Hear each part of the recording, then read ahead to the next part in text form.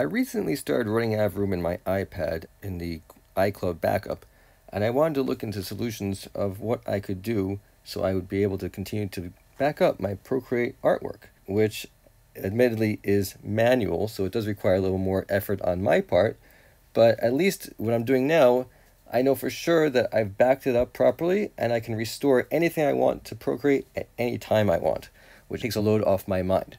So the way to do that you're to need an external hard drive, like so, where a hard drive and an adapter, USB adapter.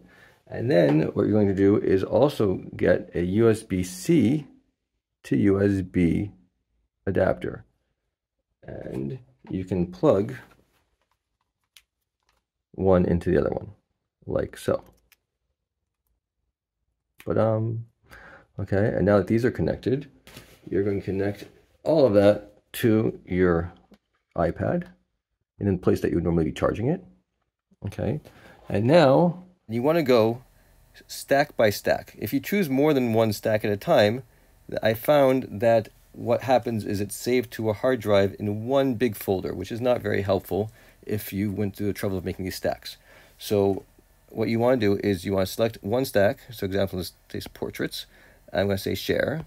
I'm going to share it in Procreate format so it saves all the information that's saved into Procreate, such as the videos and anything else associated with it.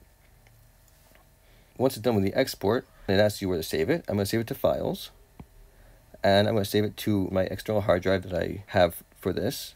And here I have one folder, which is Procreate Backup, and here I have all of my uh, stacks. So I'm going to create a new stack, a new folder, which represents the stack, called portraits.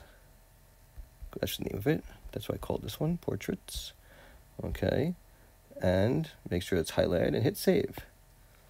And so now it's save into the folder portraits, which is on my external hard drive.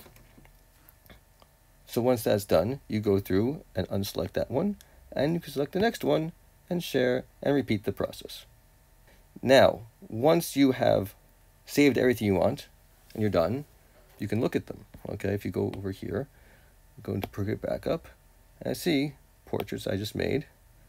Okay, and here are all the portraits here. Okay, now if I click on any one of them, it'll, it'll restore it into Procreate.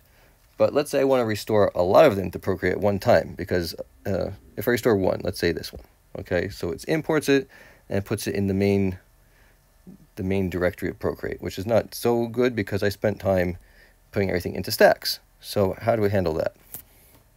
So what we'll do is we're first going to create a placeholder stack. So we're going to create a just some two items, and duplicate it, and then we can select them both, create a stack out of it, and we're to call it portraits. We'll call it new portraits.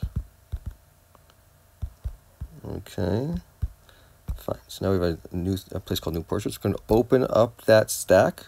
And now we run back to Portraits. This is what we want to restore from. We go into here, we hit Select. We say Select All or whatever you want to select to restore from. With one finger, you press and hold and drag. That will select them all. With your other finger, slide up from the bottom of the screen. Hit Procreate. It will launch Procreate and open it up in your new area. So I'm going to drop it over here in this stack and I'll load them in that stack. So now all I have to do is select those last two that I used originally and delete them and we're done. And it's basically rinse and repeat for all the other ones you want to restore. Please feel free to ask questions and comments in the chat.